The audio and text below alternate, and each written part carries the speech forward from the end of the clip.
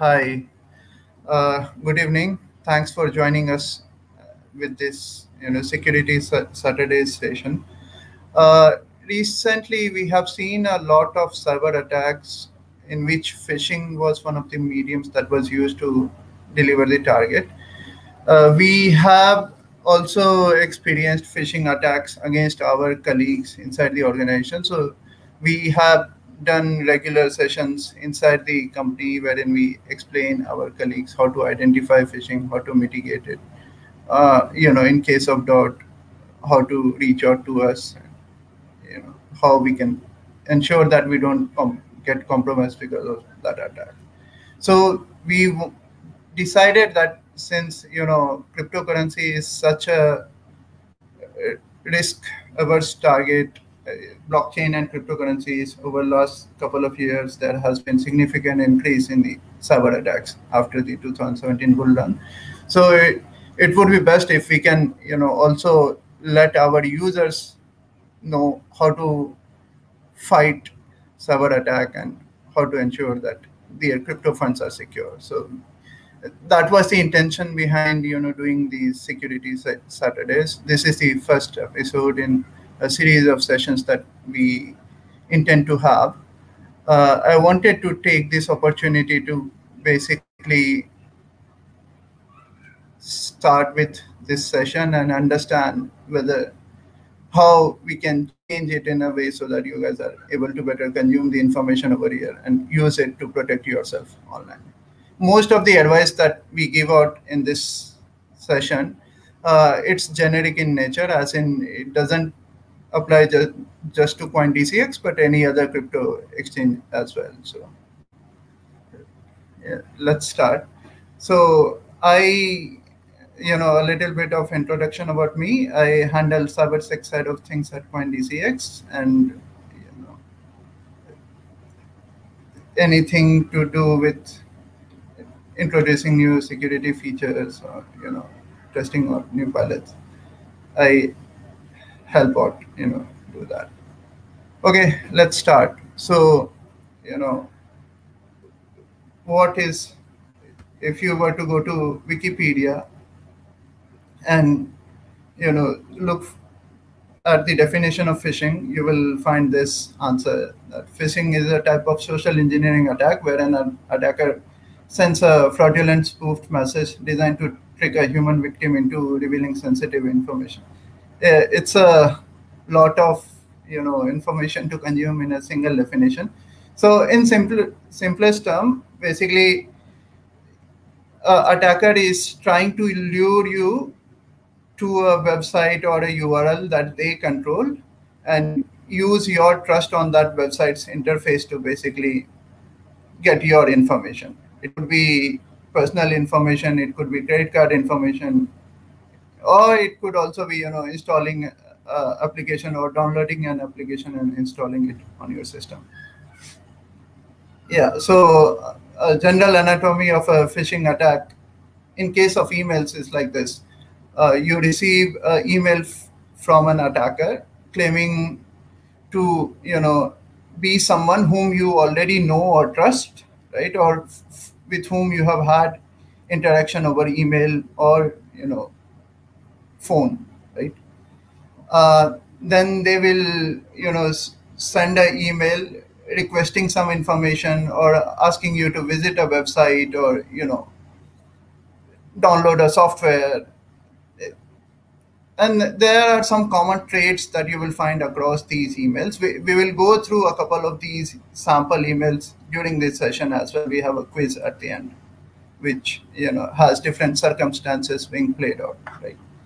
So, and a victim, you know, if they are not aware about how to identify these emails, they end up visiting the website or URL or downloading the software, which, you know, ends up compromising their system in some cases, or, you know, attacker being able to control uh, and gains some PII or personal information related to user card information, right? And then that information is used to comp further compromise the user who fell victim.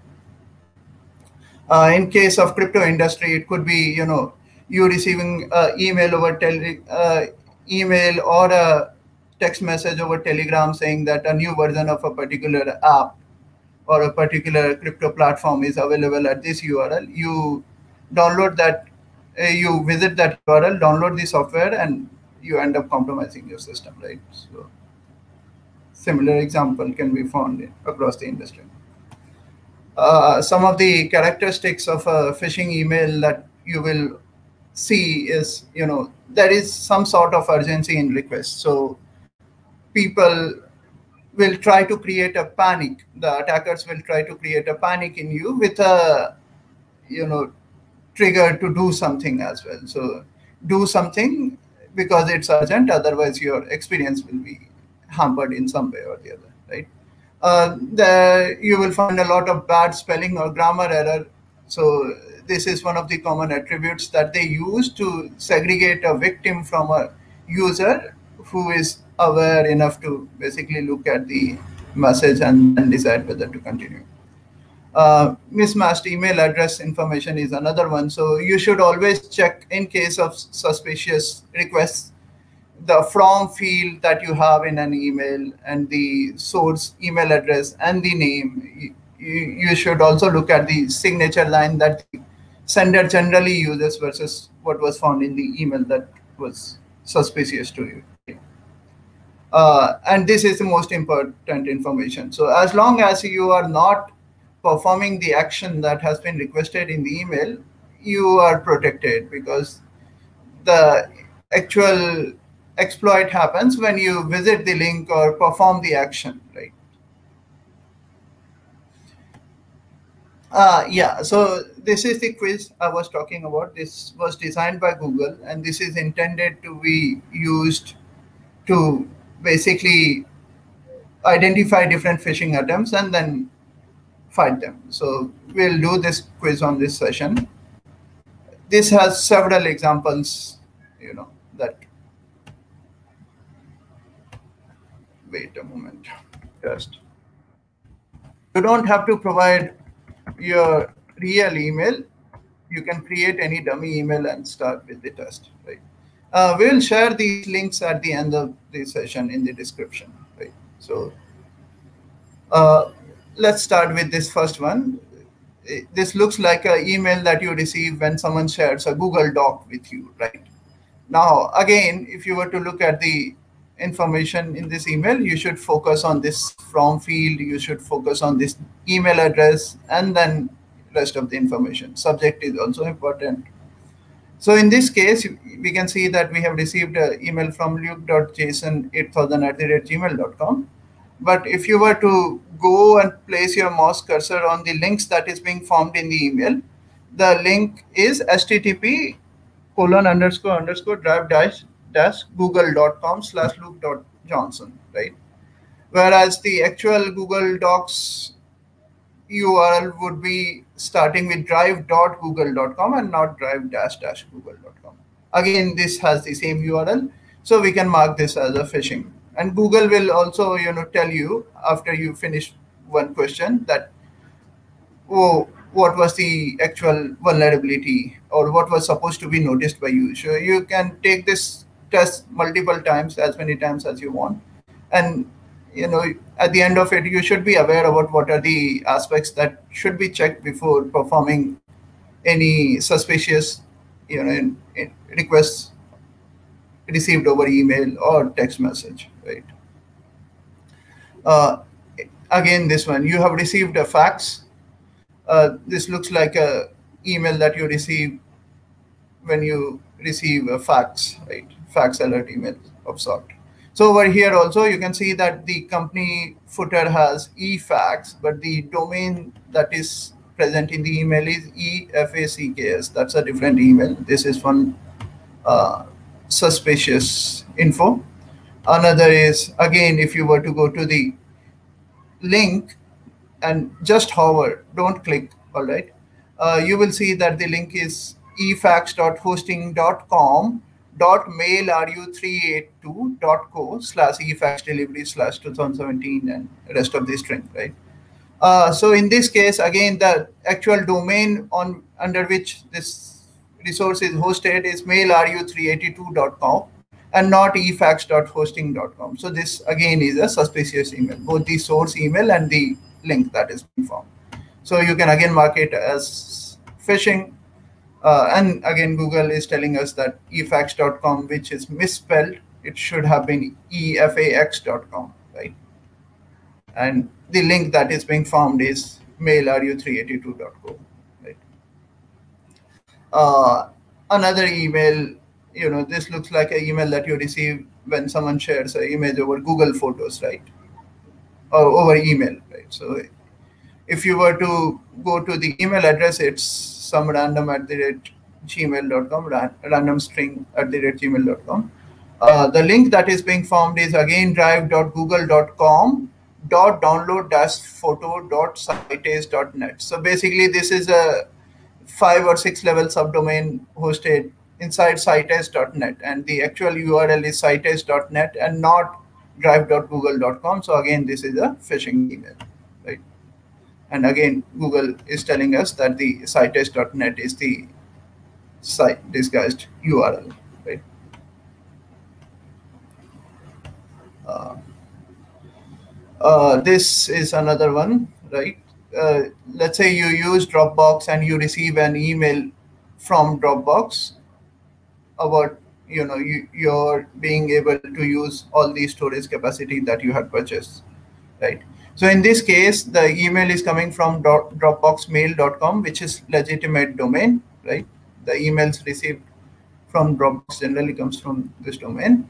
Uh, if you were to go to the url inside this email you will see that the links being formed is uh, www.dropbox.com slash buy. Again www.dropbox.com slash help slash space slash get more space right so these are both these resources are hosted under dropbox.com domain which is the legit domain and the last one again is dropbox.com slash business which is the legit domain so we can we don't have any suspicious reason or we can say that this email is a legit email and we will mark it as such and then again google will say that this is the correct response, right? And again, dropboxmail.com is the legit domain. And links are legit. All right. Uh, here is another one. You let's say you have received a new email from one of these schools, right? Uh, this email also has attachment, so you should always be extra careful with attachments, right? When you receive the attachments, because in such cases, there are circumstances wherein the operating systems that you use may have some open vulnerability, recent vulnerability, zero days that has been found, and people are or the attackers are trying to compromise your system by basically executing uh, executable masked as a PDF or some other useful file, but which actually has malicious code embedded in it, right? So in this case, you can see that the email is westmountdayschool.org, right? But the email that you are expecting from is sharon.mosley at westmountschool.org and not mountdayschool.org. So again, this is a malicious email when you do receive these attachments, don't download or click on these attachments. Right? Although Google also ensures some level of protection, I have not had much experience with uh, other email service providers apart from Google and ProtonMail. They they have done good work. Ah, sorry, this yeah. So again, domain Google will also tell you that PDFs are scary in suspicious email. Ha, they, this is another example, right? So remember we were discussing the fact that they want to create an urgency in you or a moment of panic in you. Subjects like these, right? Someone has your password. Hi, someone just try to uh, and again, if you were to go visit the link, you will see that the link is myaccount.google.com dash security settings page dot ml security.org and not google.com. So this is a phishing email. Uh, there is another website, Have I Been Pwned? They have done great work with collecting data exposed in data breaches and then helping out users being able to identify whether they have been a victim of data breach. So they have also released this uh, way of checking whether a password that you use is has already been leaked in one of the data breaches or not. You should go and check that out. Uh, so again, this is a phishing email, right? Google.support, this was another red flag instead of google.com or gmail.com. Right? Uh, this is another email over here. Again, the email domain is google.support and not google.com. So it's a phishing email.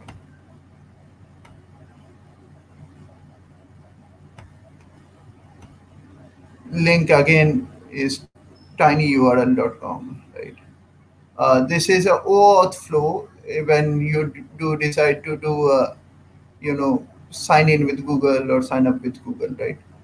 Uh, in this case, the application is Tripit, and you know the links that is being found is tripit.com and privacy policy again tripit.com. Your my accounts page is security.google.com, which is the right link. So you can say that this is a genuine email, right?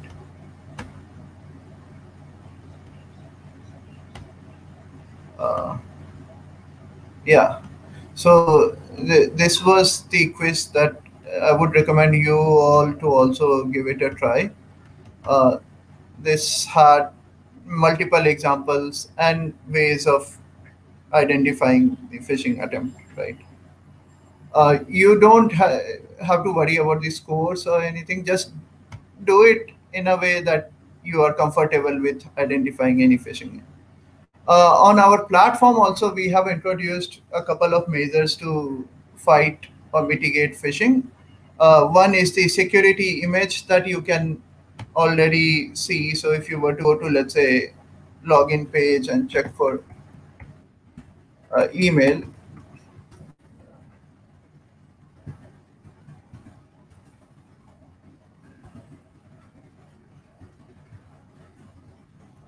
uh, you have this image, right?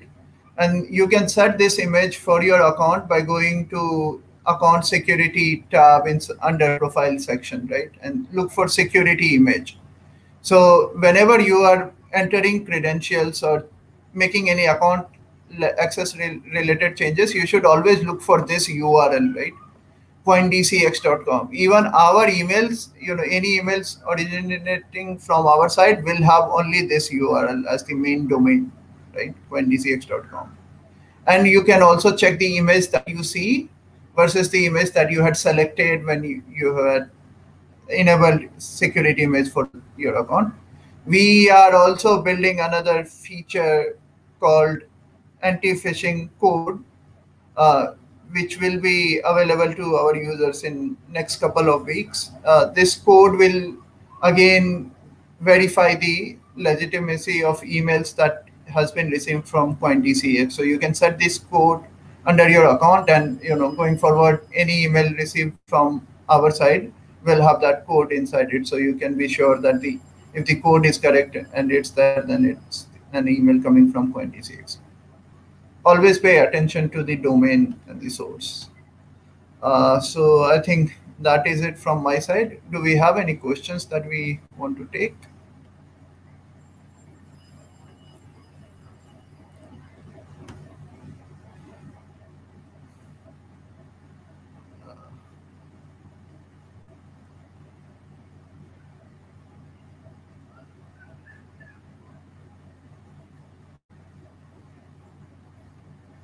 all right.